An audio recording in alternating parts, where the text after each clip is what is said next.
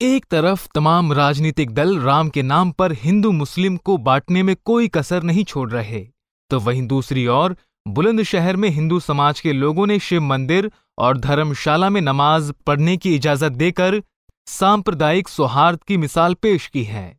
आपको बता दें कि इन दिनों ज़िले में मुस्लिम समाज के लोगों का एक बड़ा धार्मिक आयोजन तबलीगी इज्तिमा चल रहा है, जिससे देश विदेश से लाखों की संख्या में लोग हिस्सा लेने के लिए आ रहे हैं। ऐसे ही कुछ अकीदतमंदों को जब बुलंद शहर के जैनपुर ग्राम से गुजरते वक्त नमाज़ पढ़ने के लिए साफ़ जगह की ज़रूरत पड़ी तो इस गाँव के हिंदू समाज के लोगों ने उन्हें मंदिर प्रांगण में ही सभी सुविधाएँ उपलब्ध कराने के बाद मंदिर में ही नमाज़ पढ़ने की इजाज़त भी दी, जिसके बाद नमाजियों ने नमाज़ अदा कर अमन और शांति की दुआ मांगी।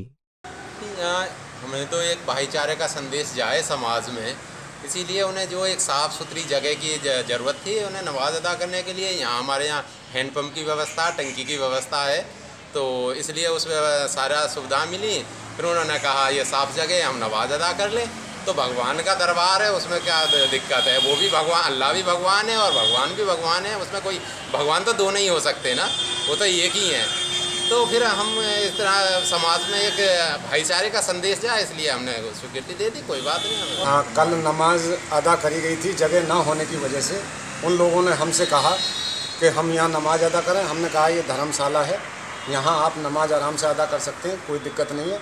इससे हमें कोई किसी तरीके की परेशानी नहीं है। उसमें सिर्फ़ ये है कि हमें तो मोहब्बत ही इबादत है और इबादत ही मोहब्बत है, बस। भाईचारे इसमें हम हर तरीके से उनके साथ हैं, सहयोग में हैं, कोई दिक्कत नहीं। वहीं हिंदू समाज के लोगों द्वारा मुस्लिम एकता की इस नज़ीर की लोगों ने जमकर तारीफ़ की।